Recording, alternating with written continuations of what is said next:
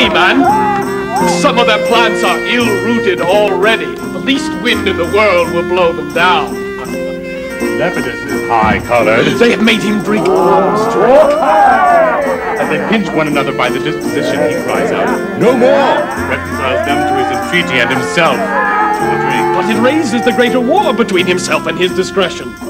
Why, as it is to have a name in great men's fellowship, I had as lief have it reed that could not serve me, as a partisan I could not heed. To be called into a huge sphere and not to be seen to move it are the holes where eyes should be, which pitifully disaster the cheeks. Thus do they, sir. They take the flow of the Nile by certain scales in the pyramid. They know by the height, the lowness, or the mean, whether dearth or foison follow. Now the higher Nilus swells, the more it promises. As it ebbs, the seedsman upon the slime and ooze scatters his grain and shortly comes to harvest. You have strange serpents there. Aye, Lepidus. Your serpent of Egypt is bred now of your mud out of the operation of your sun. So is your crocodile. They are so. Sit! And some wine! A health to Lepidus! I'm not so well as I should be, but I'll ne'er out. No, not till you have slept. I fear me you'll be in till then. Nay, certainly. I have heard the Ptolemy's pyramids are very goodly things. Without contradiction, I have heard that. Pompey, a word. Say in mine ear, what is't? Forsake thy seat, I do beseech thee, captain, and hear me speak a word. Oh, forbear me till anon. This wine for Lepidus! Lepidus! What manner of thing is your crocodile? Well, it is shaped, sir, like itself, and it's as broad as it hath breadth. It's just so high as it is, and it moves on its own organs. It lives by that which nourisheth it, and the elements once out of it, it transmigrates. What color is it? of its own color, too, sir. It is a strange serpent. It is so, Lepidus, and the tears of it. Will this description satisfy him? Go hang, sir. Hang! Tell me of that. Away! Do as I bid you. Where's this cup I called for? if for the sake of merit thou wilt hear me, captain, rise from thy stool. I think thou art mad. The matter. I have ever held my cap off to thy fortune. Thou hast served me with much faith. What's else to say? Be jolly, lords. These quicksands, Lepidus, keep off them, for you sink. Wilt thou be lord of all the world? What sayest thou? Wilt thou be lord of the whole world?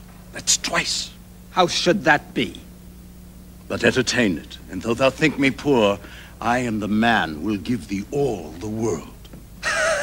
Hast thou drunk well? No, Pompey. I have kept me from the cup. Thou art, if thou darest be, the earthly Jove.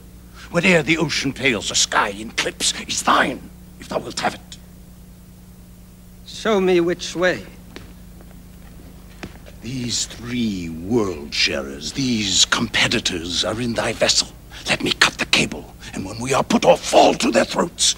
All there is thine. Ah, this thou shouldst have done and not have spoke on't. In me 'tis villainy. In thee it had been good service. Thou must know 'tis not my profit that does lead mine honor. Mine honor it. Repent that ere thy tongue hath so betrayed thine act. Being done unknown, I should have found it afterwards well done, but must condemn it now. Desist and drink. For this I'll never follow thy fortunes more. Who seeks and will not take when once 'tis offered, shall never find it more. This health to Lepidus. Very much so. I'll pledge it for him, Pompey. Oh, here's to thee, Menas. Enobarbus, welcome. Fill till the cup be hid. There goes a strong fellow, Menas. Why? Why, he bears the third part of the world, man, seest not? The third part then is drunk. Would it were all that it might go on wheels. Drink thou.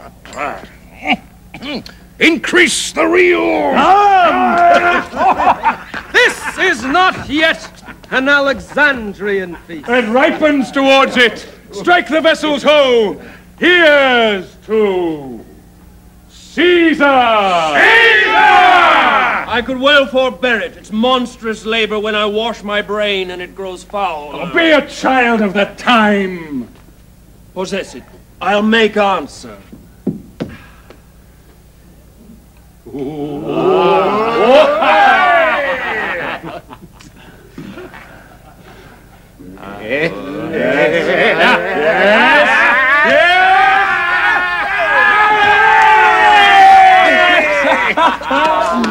I would rather fast from all four days than drink so much in one. My brave emperor! Ah, shall we dance now? The Egyptian bacchanals and celebrate our drink? Let's have it, good soldier. Let's all take hands.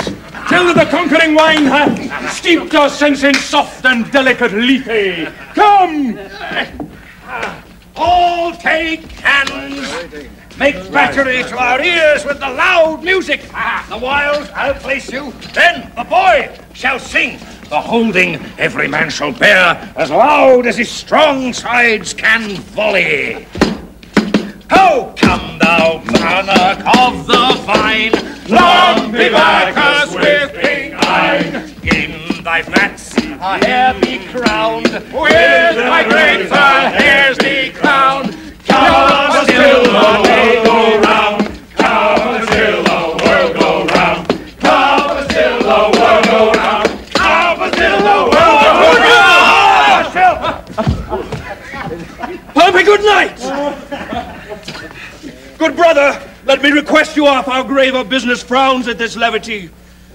Gentle lords, let's part. You see, we have burnt our cheeks. Strong Enobarbs, weaker than the wine, and mine own tongue splits what it speaks. The wild guise hath almost anticked us all. Good night. What needs more words? Good Antony, your hand.